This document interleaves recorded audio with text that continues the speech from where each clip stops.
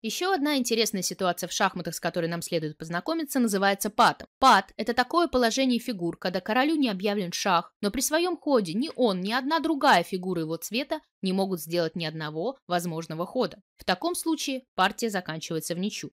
Может случиться, что у вас большой материальный перевес, но один неосторожный ход, и король соперника оказывается запотован, и получается ничья. Давайте разберем несколько примеров. В этой позиции при ходе белых на доске пад, так как король белых не под шахом, и у него нет разрешенных правилами ходов, а кроме короля на доске нет других белых фигур.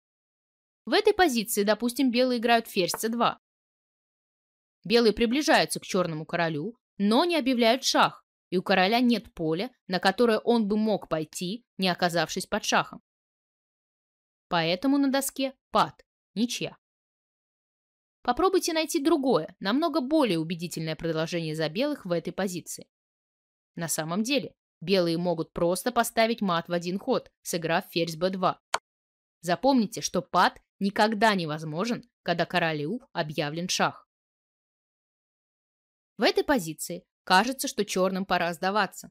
У белых большое материальное преимущество, и они вот-вот замотуют короля черных. Но порой чудеса случаются даже на шахматной доске. Правило «никогда не сдавайся» иногда приносит свои плоды. Если посмотреть внимательно, черный король запотован. Если бы черного ферзя не было на доске, то был бы пад. Следовательно, черным надо избавиться от своего ферзя, принеся его в жертву. Можете найти такой ход? Если вы указали ход ферзь бьет h2, вам удалось свести партию в ничью. Ведь белые обязаны брать ферзя, и на доске пад. У черного короля нет возможных ходов. Сейчас давайте посмотрим на этот пример. Если белые играют ферзь c7, не лучший ход. Вместо этого ходом ферзь b7 можно было поставить мат.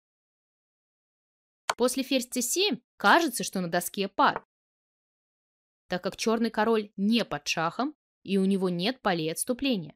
Но кроме черного короля на доске все еще жива черная пешка, и у нее есть возможность сделать ход.